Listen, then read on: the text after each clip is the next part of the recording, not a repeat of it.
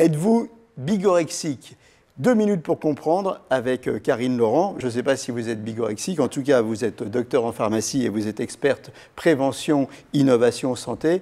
Bigorexique, qu'est-ce que c'est? Bah, C'est tout simplement l'addiction au, sport. Ça vient de la contraction de big qui veut dire gros et orexie en grec qui veut dire appétit, donc un gros appétit à faire du sport. Gros appétit à faire du sport. Donc euh, en clair, on est accro au sport. Ça a rapport avec la dopamine, les endorphines, tous ces trucs-là qui font que plus on fait des efforts, plus on se sent bien et plus on a envie d'en refaire. On est accro, c'est ça? Oui, mais c'est surtout décrit comme un phénomène d'addiction comportementale. Et ce qui est important, c'est que les gens doivent savoir les, règles à ne pas dépasser. Alors vous, vous avez une règle, c'est la règle des 5C. Oui, tout à fait. On y va. Alors, le contrôle, tout d'abord, bah, le sportif manifeste une perte de contrôle et se sent coupable lorsqu'il ne se dépense pas.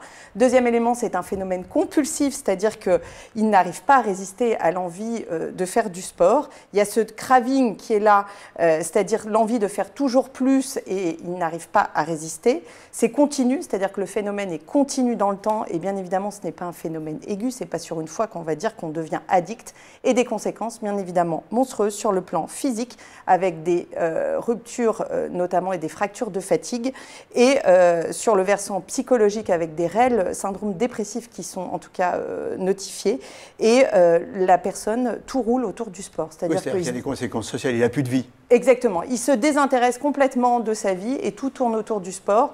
Et, Ça, c'est les gars qui se lèvent à 5 h du matin pour s'entraîner, qui ont une alimentation à base de, de protéines et qui le soir vont refaire un petit footing jusqu'à 10 heures et ils n'ont plus de vie. Exactement. Et ce qu'il faut aussi passer comme message, c'est qu'on peut faire beaucoup de sport et ne pas être addict, et faire très peu de sport et être addict. Voilà. Et vous connaissez euh, le sixième C? Non. Eh bien, c'est fini.